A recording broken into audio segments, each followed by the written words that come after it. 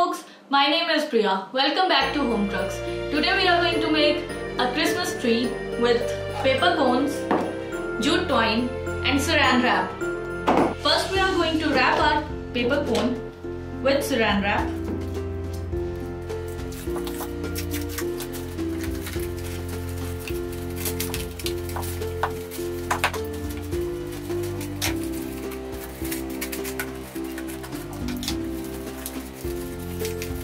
Once the cone is wrapped, take your jute twine and coil it around as neatly as you can.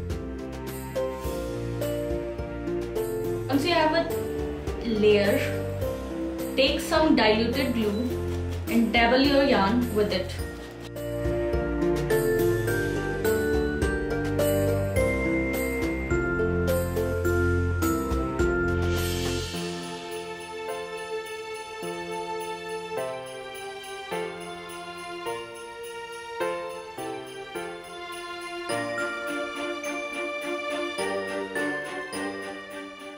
Once the yarn is nicely wrapped around the cone, we are going to dab it with our diluted glue and let it dry for 24 hours.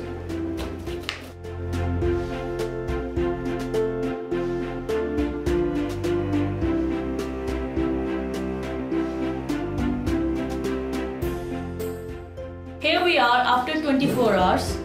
Now we are going to remove our cone and saran wrap and then decorate our jute twine Christmas tree.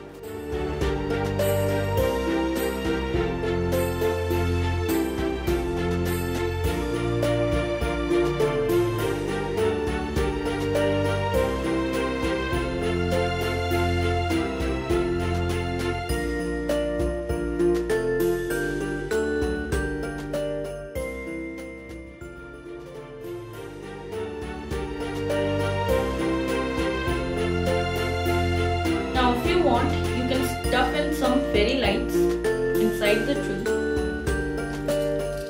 And your jute twine Christmas tabletop tree is ready to adorn your home.